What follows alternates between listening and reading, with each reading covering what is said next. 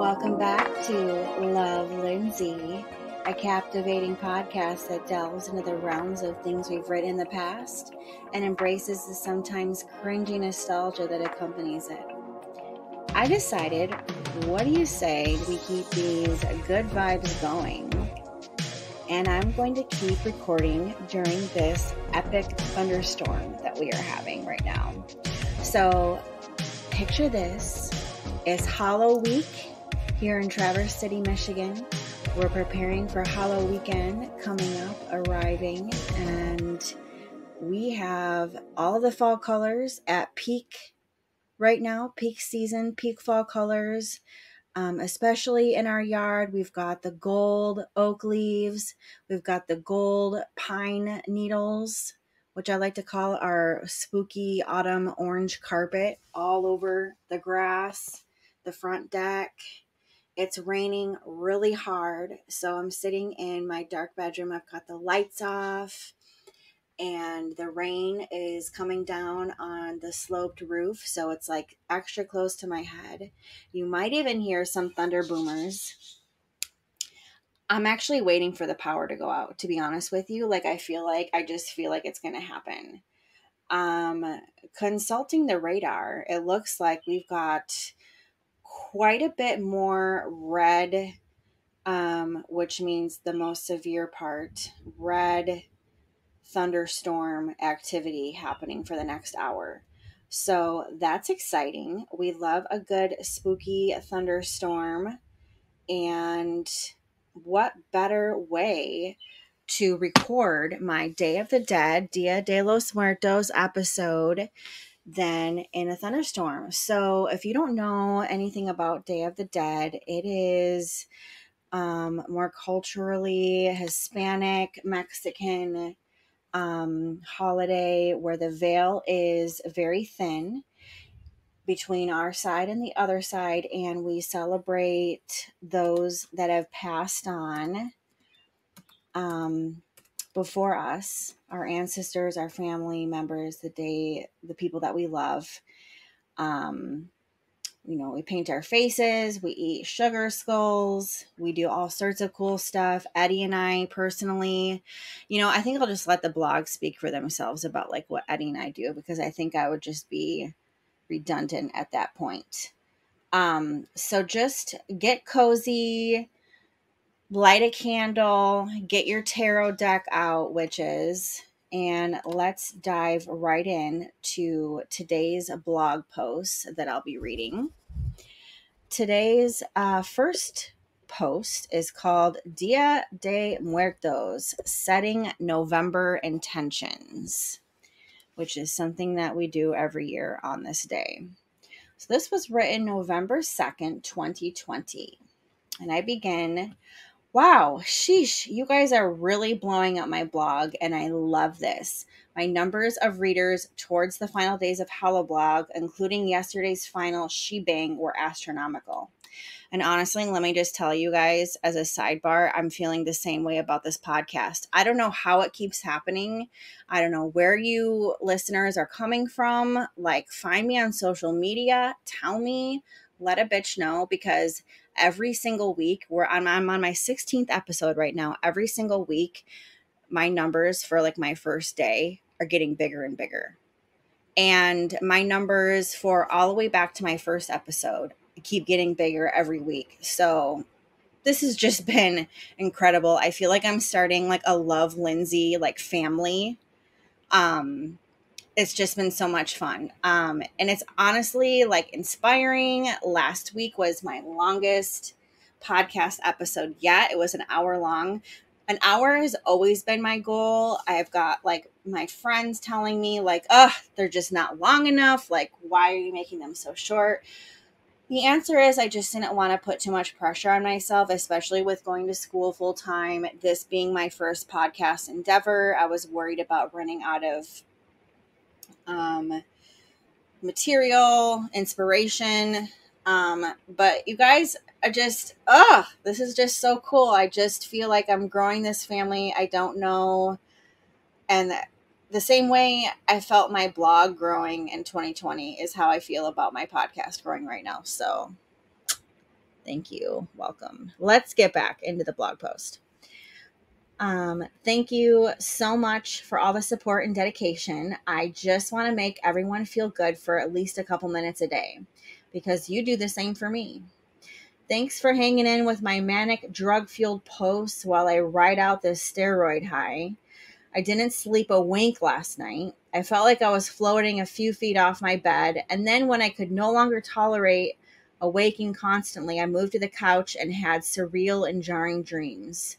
My filled out and ready to drop off ballot crying loudly to me for my backpack purse. And then I talk about my super cute pink Loungefly Disney Cinderella purse. I had like a Loungefly baby backpack phase during like 2020. Um, and then I talk about how I'm a literal child and I have my 70th anniversary Cinderella Loungefly mini backpack. And then how like the zipper pulls are like little miniature scissors and then like the straps are like um because it's all about the scene where they're like her and the mice and birds are making the dress and then I talk about how I want this other mini Loungefly backpack for Christmas. It's a whole Loungefly rant. Anyway, what a tangent. and no, this November's intentions post is not about my materialistic Christmas wish list.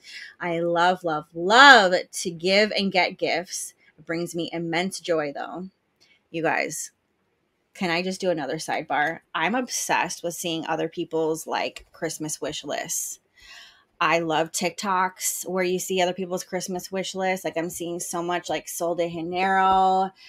I'm seeing a lot of like Nike Dunks. I'm seeing a lot of like um just like pink cute things and lots of like Lululemon and I just I love it. I'm getting sidetracked here. Let's get back to the blog. Um, this was supposed to be a continuation of yesterday's post talking about the rest of our Halloween party fixins, but now I have even more to tell you about. We pulled a spectacular Dia de los Muertos dinner last night, and it was just Eddie and I, and the ghosts of our loved ones. How did we pull that off? Well, I'll tell you. We made an altar at the head of our table with a black veiled chair and black taper candles. We had treasures that represent our loved ones who have passed on. We had Peanuts cremains. Peanut, you guys, is my beloved cat that passed away in 2020.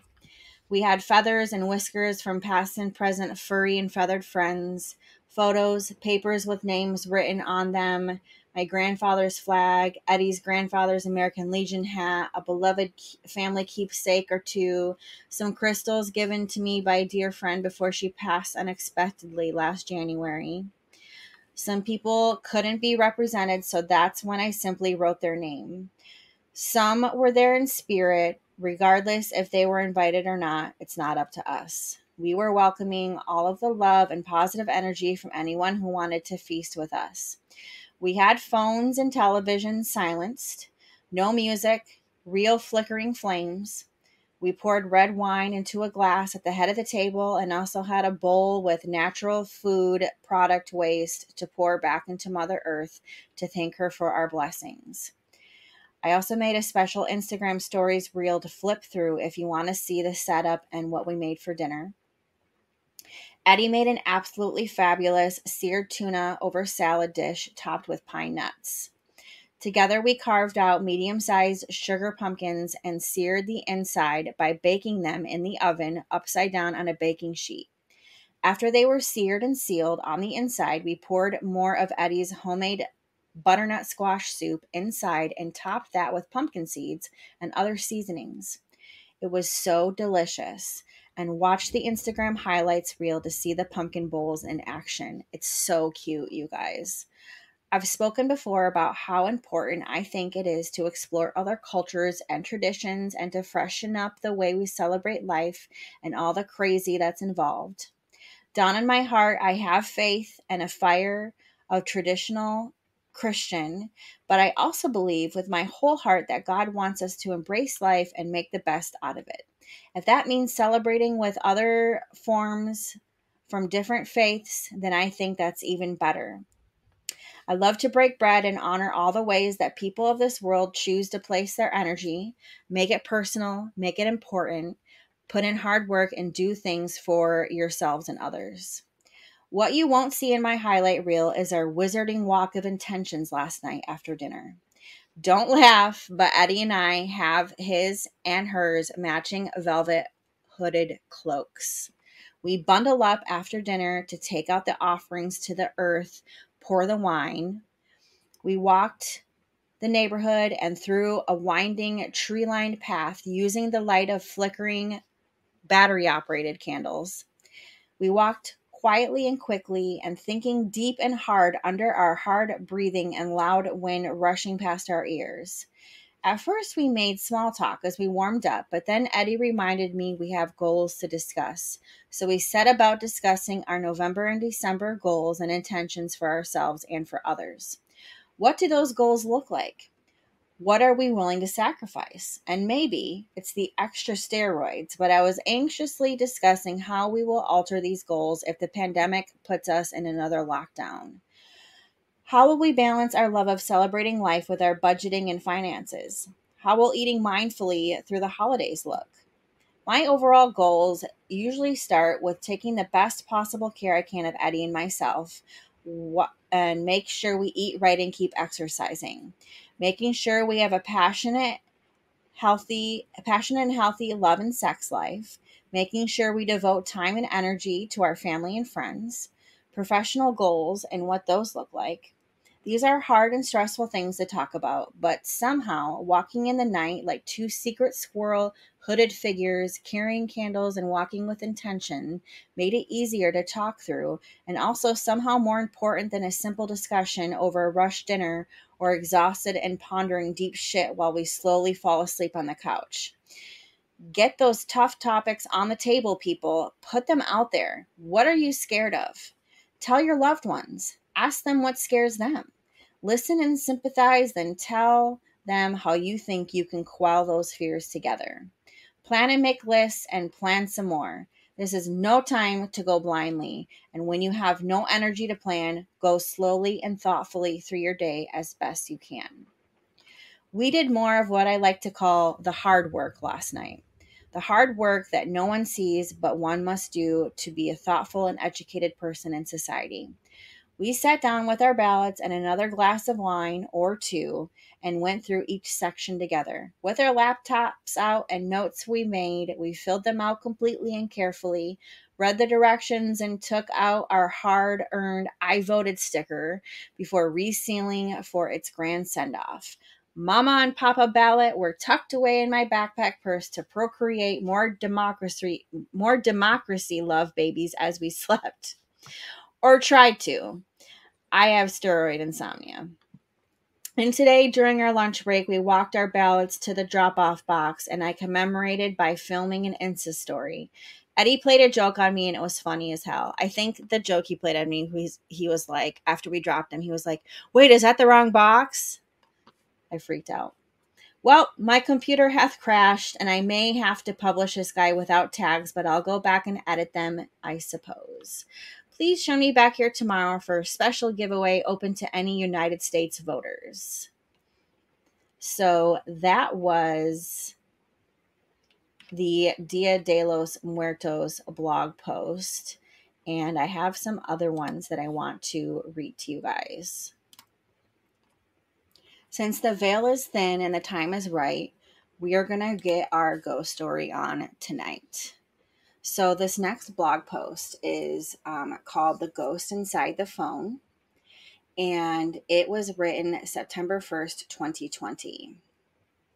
So, let's get right into it. This is a spooky one, you guys, and it's it's really cool actually. It's got a lot of history. Um, it's been way too long since my last post. You could say I have had a writer's block of sorts, but the opposite is true. I've been writing plenty in my diaries, and my creativity is ablaze. Honestly, I've been spending most of my energy dealing with tourists and fearing for the sanity of my coworkers as we deal with staffing issues, among all the other worries one has at a time like this. I think I'm talking about my job at the little shop downtown Traverse City. I have the bliss of my home life for short periods of time. I can't go longer than five hours or so in the summer's shenanigans. Yeah, I cut my.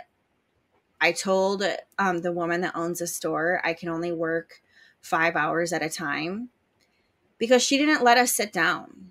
You guys, like, you had to walk in circles around the store the whole time, the entire shift. Like, no wonder I lost 70 pounds my first year in Michigan. Like, you had to walk the whole time. You weren't allowed to sit down. So I was like, bet, okay, if we have to walk the whole time, guess what? I'm only working five hours.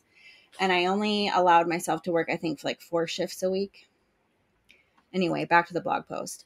Once I get a little past five hours, my brain starts to malfunction. I feel weak and flee to my home where I can turn my tuna melt brain back into Lindsay Loomis land. Having an amusement park as a brain has its delights and challenges. As always, I'm sharing with you all I'm sharing with you all not to complain, but to show you are not alone in your everyday experiences. It's concerning that I can't work more than my strict 20 hour limit per week before I go mad, but that's my life. Um, let's just talk about that. Yeah. 20 hours per week, not that much. However, like I said, look at the job I was working. It was an unair conditioned, stuffy, dusty, hectic as hell retail, like tons of tourists constantly, and we weren't allowed to sit down. The even the bathroom I had to use was like disgusting, and that was not a break. Like there were no breaks.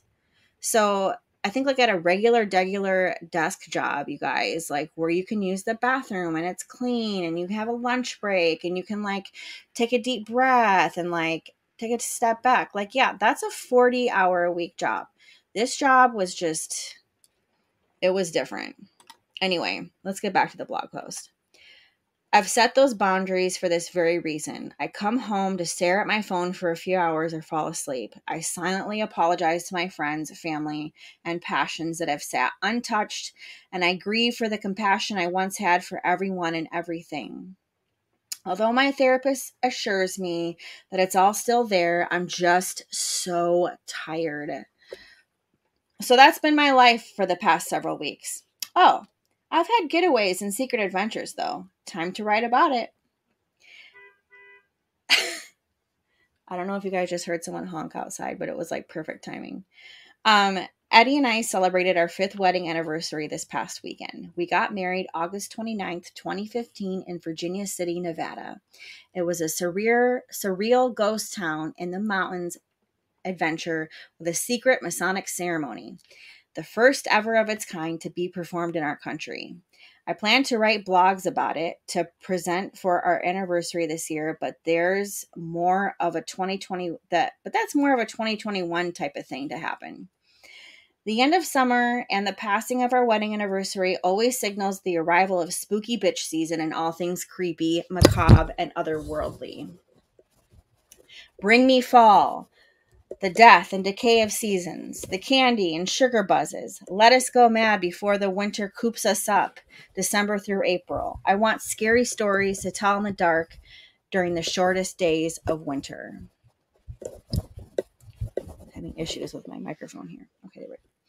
Um, this is the cue for my reintroduction of my sister in law's passionate devotion to all things Halloween and her wonderful podcast called Ghost Magnet. Anytime we have a car ride to endure, listening to Bridget's podcast helps us pass the time. My dear and faithful readers may recall my post from last year describing our ghost hunting adventures with Eddie's family in Detroit. I want to remind you of our trip visit to the old asylum and extremely historical and haunted Eloise with Detroit Paranormal Expeditions. We took a tour during the safety of daytime, and admittedly, Eddie and I were not impressed. At least not with the paranormal activity. The building itself, my God, it's beautiful, and the items left behind, such as pianos, office furniture, and dentist chairs, made this place an urban explorer's dream. But I had no hair raising moments or chills. Maybe we had to be there at night to experience something? I also have to remember I was a completely different person a year ago. I was still barely used to leaving the house and socializing, so maybe the newness of post California depression was blocking my senses. We took tons of photos and enjoyed a fantastic meal at a Mexican restaurant, and just like that, the night was over and everyone went home. We made plans to come back as soon as possible because I believe our thirst was not yet satiated. Fast forward to a couple months ago. Eddie scrolling through his Google Photos account and came across something not quite right. The photos we took at Eloise had, be, had been tampered with. But how? This isn't an old school camera with film, nor did we spend time in a dark room to cause these kinds of effects. This is the part where my mind wanders into difference the difference between taking photos with a smartphone and taking photos with a real film camera. I had literally never seen anything like it. In one of the photos, the image of Bridget on a hospital bed is seen as a stenciled image over another photo, like the memory of another photo was showing itself. These photos have been viewed by us a few times already, and we didn't see them before. Did we miss something? Or did something follow us home and change them to get our attention? See example of the photos mentioned at the bottom of this blog post. Let me bring your attention back to the title of this blog, titled The Ghost Inside the Phone, which is an ode to the physiological theory of the ghost inside the machine, which hints at a cognitive dualism between body and mind. There is a doctrine about the nature and place of the mind which is prevalent among theorists, to which most philosophers, psychologists, and religious teachers subscribe with minor reservations.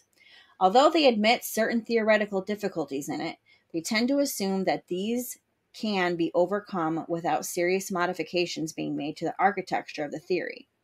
The doctrine states that, with the doubtful exceptions of the mentally incompetent and infants in arms, every human being as both a body and a mind, the body and the mind are ordinarily harnessed together, but after the death of the body, the mind may continue to exist and function. Thinking about where the mind's energy goes after our body dies is just as spooky to me as thinking about ghosts, because to me, they are one and the same, and there's our connection to our personal computers and cell phones. My body, my smartphone, myself. My phone is an extension of myself as always as it's always with me. Even during sleep, it only sits mere inches from my brain. Even when I take a shower, it provides entertainment for me in the form of music how does this electronic device to to look from ghosts from our past?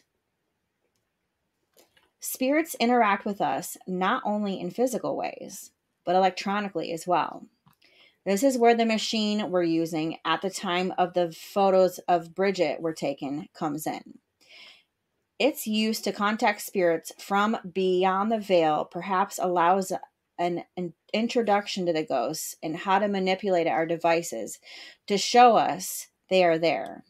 So, what I'm talking about is this um, like ghost hunting machine thing used while we were at Eloise Asylum, and it goes through like radio waves or something, and like the ghost can manipulate it manipulate it to talk to you. I think it used something like an old vintage radio I'm trying to remember exactly what it looked like, but I can't remember. Um, so in my mind, I'm talking about how the ghosts at this asylum maybe learned how to use our phone by using first the machine they made for the ghosts to interact with, and then later jumped into our phones to n- manipulate these pictures that we took that looked fine for a year, and then suddenly they were messed up. Back to the blog post. Did a spirit jump from one machine to another? And is our body just as much of a machine in which to carry human energy as an electronic device is? Bridget sent the photos to an investigator who was with us that evening at the Eloise. After he looked into it, he was stumped as well.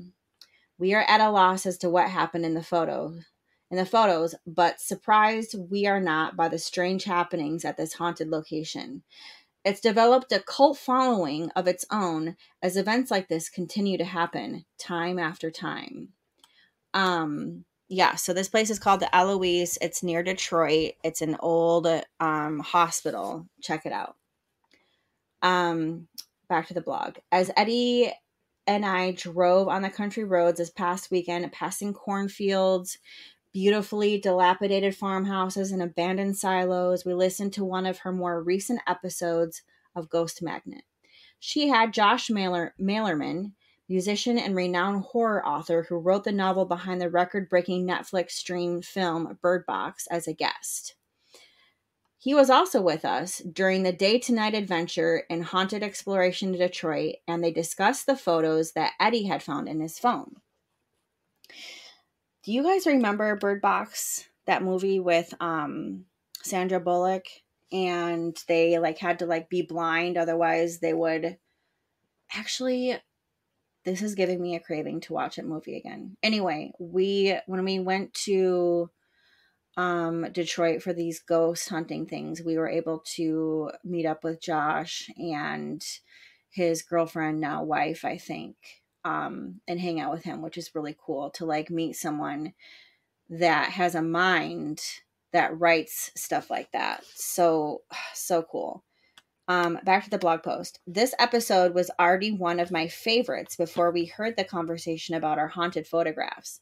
It makes me giddy to think that a small and intimate group of people from around the country, made of authors, bloggers, celebrities, ghost hunters, and funeral directors slash embalmers, can be brought together again and again by the trickery of ghosts and te- technology. Working together between people in California and Michigan, the photos were investigated and debunked for the most part, as anything explainable. If we can come together through technology to discuss ghosts, surely we can come together to discuss the ghosts in our own minds that may or may not be part of our own mental health. I have witnessed both now and briefly, my faith in humanity has been restored. I almost don't want to stop writing this today as I've experienced so much comfort in the process of writing to you today. And same for talking to you guys on this podcast. I'm always just like so like I just feel like we're in person and talking and hanging out and it's so addicting. Anyway, I feel like I'm talking to my closest friends and in a way I am. You readers are my true friends and family and I tell you everything. Every single day I think of more things I want to tell you about. Do things really happen to me if I don't write about it? I have so much to update you on fertility journey stories, vacation travel blogs, mental health crises, and everyday experiences. I'm tearing up with some wonderful, or excuse me, tearing up. I'm teaming up with some wonderful organizations and can't wait to share with you what I've been working on. I'm wrapping my brain around making an online class of sorts about how to write and publish a blog and how it helps my mental health. If you have any suggestions on what you would like to learn from a class like this, please do let me know.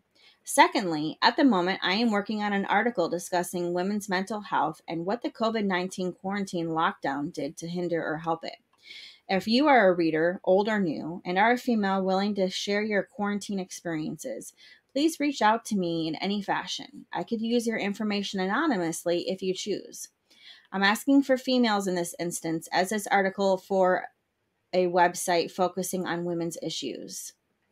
Of course, I want to hear from everyone, no matter your gender, when it comes down to it all. We are just a brain inside of a box. I promise to see you again soon. So, closing out this blog is the creepy, scary pictures. Um, they are kind of frightening and really cool. And you guys should check out my blog to take a look at it.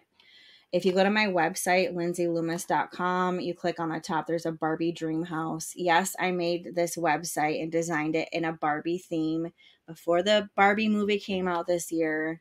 It just happens to be trending now. This um, blog post is called The Ghost Inside the Phone. And so there's a search bar on top with a magnifying glass. Type that in, and this blog post will come up. It's cool because also at the bottom there's a comment from someone named Phil, and he said, OMG, I was there with you, Bridget and Josh came to Eloise with Detroit Paranormal Expeditions. I took some photos, but nothing odd or interesting showed up on them. The photos you posted are just crazy. Can't explain them. Wow. And I said, Oh my God, awesome. We want to go back to Detroit soon and visit the Masonic building downtown. Thank you so much for reading and commenting. It seriously made my day. So let's get into our next blog post. So I thought maybe next what I would read is the blog post that was about said trip with Eddie's family when they visited and we went to the Eloise and the things we did before and after.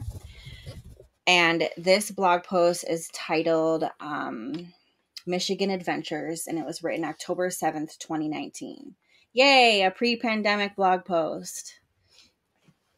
And it starts do you have post vacation depression? Because I do. And my therapist tells me going on vacation with family and then having to say goodbye when it's all over can cause grief, and that's okay. I think it's true. But you know what else is true? That when you are in that sadness or grief, you feel completely alone and like you are the only one who feels it. When I feel like this, it's nice to go through the trip in my mind with pictures to feel better. You guys, that is absolutely so true. And it still happens to me to this day. Like, we went to go visit Eddie's family in California last week, and I came back and just the hecticness of like flying back, like the way the two our two layovers were set up. Um, we couldn't even stop to go to the bathroom or get food. We had to run both layovers. Um, so you're just tired, you get home, it's like three hours later than what you're used to in California. You're just tired. Like I still had to go back to school. Like it just sucks, dude. And then it, add to all that, you are just with your family that you haven't been with in like a year and you don't know when you're going to see them again. And yeah, post vacation depression is a bitch. But I can still get back to my life for the most part. It used to really just like cripple me. Anyway, back to the blog post. Eddie's family came to visit us last month, and I feel like a tourist in my own state. The weather was perfect and warm and sunshiny most of the time. I love September in Michigan. October is better for leaf colors, but it starts to get pretty cold. The first place we went was Mackinac Island. I'd been there, of course, growing up in Michigan, but this was a totally new experience for me.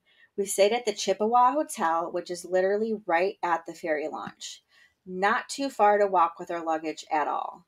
And no stay here is complete without a visit or two to the Pink Pony.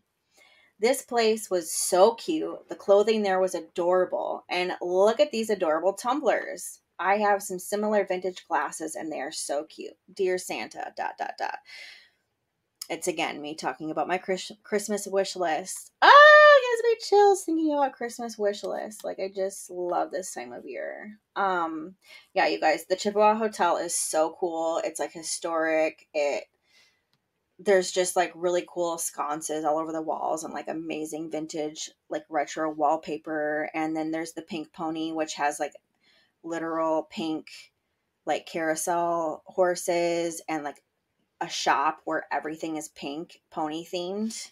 It's such a cool place. I highly recommend it. Back to the blog post. We got an amazing suite that had two bedrooms and a balcony overlooking the 12 person spa and live music. And then I post some pictures. There's one of um one thing I love about Mackinac Island is that everybody goes all out with like gardening and landscaping and the florals there are just like giving you life. Then there's a picture of um Eddie's dad, stepdad, mom, and Bridget looking down at the water. And then there's a pink pony glass with orange juice in it. And then I say we started our time on the island by doing a long and beautiful but informative horse and carriage ride tour. As most of you know, there are no cars allowed on the island. We explored by foot as well and hiked up a hill to the fabulous Grand Hotel, featured in the movie Somewhere in Time. This hotel is the most beautiful and elegant of any hotel I've ever been to or seen. The decor inside and flowers and landscaping outside are absolutely fabulous. So I think I'm talking about this hotel like I'd never been there before because I'm seeing it with new eyes. I had been there before growing up. My mom and I would go there for like tea time um, when we would stay on the island. But as an adult with an appreciation for decor and like vintage, like glam, I'm just like, oh, it's like heaven on earth. Also, you guys, I stayed there, Eddie and I stayed there during Halloween season um, last year, 2022 with, or was that 2021? 2021, um, with Eddie's little sister um, and her husband. And I have a vlog that thoroughly goes through that stay and all the fun stuff we did. So I would check that out on my YouTube channel. You can access that through lindsayloomis.com. Let's get back to the blog post. So again, I had been there before, just not as an adult who could have truly appreciate all. Okay, so that was literally what I just said. Everything there is classic in style, yet on trend, from the houndstooth couches to the palm leaf Regency fabrics and the antique art and furniture. We explored the pool area, the labyrinth. I love a good labyrinth. And had a great conversation with family around the most elegant water fountain I had ever seen. And then I showed the houndstooth couch. You know, we spent some time in our hometown of Traverse City as well. We enjoyed going to our favorite meat shop in Delhi um, called Maxbauer's and picked out goodies for grilling out and their amazing beef jerky dip. Eat it with crackers, it's so good. I had to take the family to Mackinaw Brewing and shop at Cherry Republic as well. We had a good evening with my parents visiting as well, and we grilled out and enjoyed a dinner together around our huge dining room table. It was a cozy night, and it was great for everyone to be reunited again after our wedding in 2015. That's so funny that I describe our dining room table as huge. It's really not, but we had just purchased our house like months before this visit, and we didn't really have a real dining room the whole 10 years we lived in San Francisco. So having a dining room table to me was like huge. Back to the blog post. Our next stopping point during our Michigan adventure was the Eloise Asylum in Detroit. It's spooky, abandoned, and has a history, so you know we were there on a ghost hunt. Well, it was more of a tour because we didn't stay too long and it was daylight, but we were able to do some cool experiments and take tons of photos. Shout out to Detroit Paranormal Expeditions for getting us there. There is a ton more stuff going on with Bridget's podcast and the Eloise and members from the Detroit Paranormal team being featured. Please give her podcast a listen to hear more about it. Um, and as a sidebar, she doesn't have that podcast anymore, but do check out her um, podcast that she's had for the last year called Girls Next Level. It is, I think, in the top five or three podcasts in the country. I'm not kidding. This is like amazing to me that this is my sister-in-law that has this immensely popular podcast and she talks about they talk about the TV show that they had um, in the early 2000s called Girls Next Door. If you guys have listened to my earlier blog uh, podcasts, read my blog posts, or just know Eddie and I, then you would know that The Girls Next Door is very much a part of our history. And Eddie was on that TV show and I recorded an episode of that TV show the same trip home that he met me. So check out Bridget's podcast since um, Ghost Magnet isn't a podcast anymore.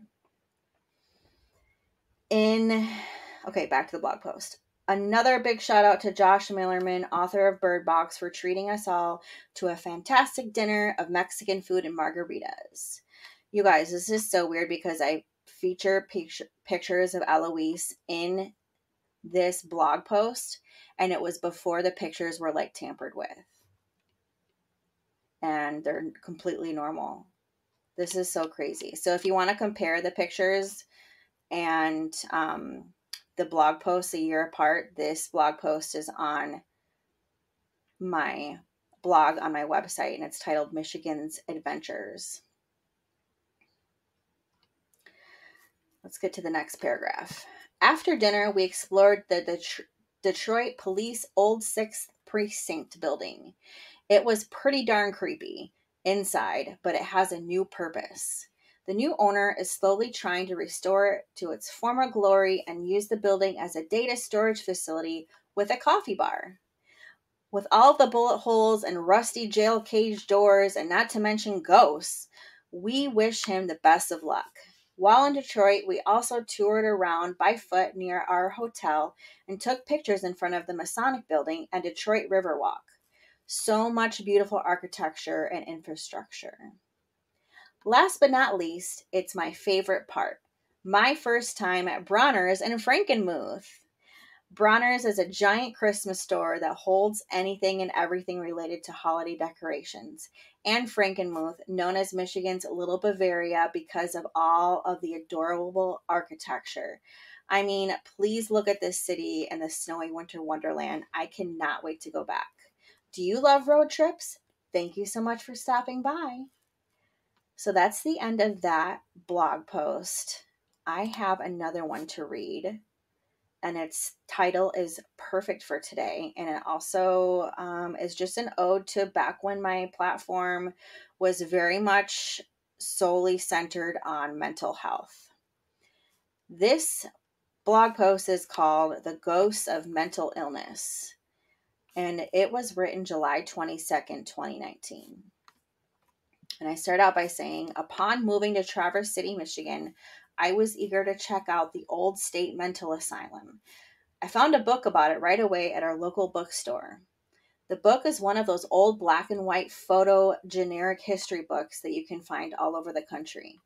Eddie and I love these books and pick them up whenever we are traveling or trying to learn about a new place. I was able to lay on our comfy bed or couch and watch the snow fall outside and read about the history of the state hospital before going to see it myself. You guys, exploring Traverse City after first moving here from San Francisco was so fun. Like, I would give anything to go back and like relive those days. Anyway, the building itself is one of those old Kirkbride, and I yes, and yes, I knew what a Kirkbride building was before I moved here because these hospital buildings were inspired were inspiring and way before their time as far as letting in sunshine and waiting and wanting all over quality of life to be higher for those committed. Buildings I know of that hasn't been torn down and even better was made to put in modern day use. Click those links I gave to learn more. It's interesting stuff. Anyway, there are still abandoned buildings on the hospital property and plenty of forest patches and lots of trees. It makes a perfect mix between haunted and historical. While researching before my first visit, I began to see the irony of my situation. Here I was, a mental illness sufferer, and I am excited to visit an old quote unquote insane asylum. I couldn't help but think of the spookiness and ghosts that might remain there for the living to interact with. But the more I researched, the more I found that the overall feedback from the community is that it was a decent place and it tried hard to take care of its patients in a humane and better way. When my aunt and uncle visited us, I was told a charming story about a friend of theirs whose parents had met at the old hospital as patients. This is the same aunt and uncle that um, a year or two later they came back and we did like a tour of like the old um, hospital and the tunnels underneath. Anyway, back to the blog. We first went to the newly renovated Traverse City Village Commons on a freezing cold and blustery, blizzardy Saturday for the indoor farmers market, and that was such a cool experience. We could have spent hours talking to the vendors and buying locally grown and made amazing goodness, but we had a little ghost hunt of our own to embark on. We, or mostly I, wanted to check out the infamous hippie tree. It has the legend to be a portal to hell. How bad could it be? P.S. That Atlas Obscura link is awesome, and I love Atlas Obscura website as a whole. I've spent many hours down the rabbit hole discovering crazy and creepy destinations all over the world. So, you guys, I'm talking about this. I don't know how it came to be. Check out Atlas Obscura website or Google Hippie Tree in Traverse City, Michigan. There's this tree and supposedly it's a portal to hell. And when we went there on this like crazy wintry blizzardy Saturday, I made Eddie walk with me to the middle of the woods to this hippie tree. We walked through the forest and melted snow with tons of dog turds coming up out of the slush. As we were slipping and sliding on the snowy trails, we were passing families going for a hike, as well as a homeless man bringing breakfast in a to go container to his wife in the woods. Charming. We arrived to Hippie Tree about 20 minutes of hiking and following our Google GPS. There were kids climbing all over the painted branches and moms on the side watching. I couldn't believe the supposed portal to hell was more like a playground. To view videos of that day, go to my Instagram and check out the travel stories. I'm telling you, during the last or during the day at least, the grounds of the old state hospital are downright cheerful, not creepy. Interest in the ghostly and macabre runs in our family, on both my side and Eddie's side. Some of you may know that Eddie's sister, who is a ghost hunting queen, has a weekly podcast out called Ghost Magnet. Please give this show a listen because it's awesome. It's a rare glimpse behind the scenes of the haunted Hollywood and more. Here's her Facebook link as well. My favorite episode in particular is the one with my husband, where they did an entire episode dedicated to Eddie's experiences in the Army, helping in New Orleans after Hurricane Katrina, and other tales from the life of a funeral director and trade embalmer. I linked the Spotify link for this episode here, is the Apple link as well. And then I show a picture of Eddie and Bridget on Halloween a few years ago, where they um, Eddie did the special effects makeup on both of them. And then I say plans are in the works for Eddie's parents and sister to visit this September to do some more ghost hunting in Detroit and Mackinac Island. We'll still have our apartment at that time, so his visiting family will have a free two bedroom, two bathroom hotel with an amazing pool. God, I love that pool. That's it for now. Talk soon. P.S. Is it Halloween season yet? So I wrote this in July. We were still at the apartment, but we had already um, purchased our house. So wow, it's just crazy how all of these like blog posts are connected and I just reading these has just been so much fun. I hope that you guys are having fun with me going through the past. You guys, today has just been such a fun experience talking to you, recording these episodes with the rain coming down. I've been in kind of a funk lately, admittedly, um, since we got back from our trip. Um, I'm just not feeling like myself since we got back. Like, I'm just I'm just not feeling myself. Like I got um as a sidebar about my own personal life. I got extensions. I love having long hair. Um and I got new extensions put in. They didn't work. They fell out.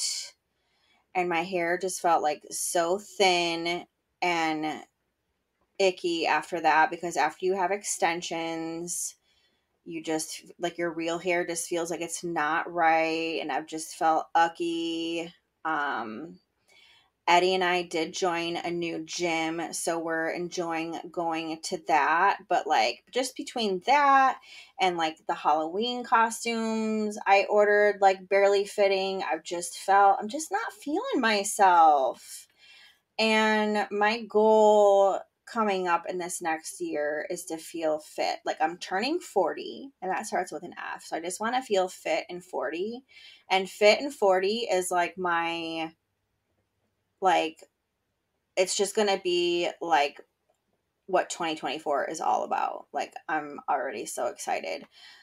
But um I'm always on a fitness journey, always. Like my fitness journeys never end I'm constantly looking for ways to just be a better person, whether it's going to school and getting new degrees, um, finishing old degrees, um, you know, trying new fitness things, new yoga classes, or like starting to swim laps again, or joining new gyms. I'm just always looking at self improvement. And yeah, sorry for the tangent. I think I'm just really open right now and just I've just loved spending a few hours here chatting with you guys. It's been great. So um I'm already working on my episode for next week, for next Wednesday. I'm so excited. I cannot wait for you guys to listen.